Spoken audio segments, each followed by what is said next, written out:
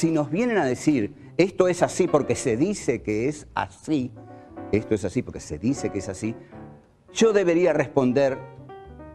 a mí no me consta que sea así, pero yo voy a averiguar si es así, porque yo tengo mi propia voz, tengo mi propio juicio, tengo mi propia condición crítica.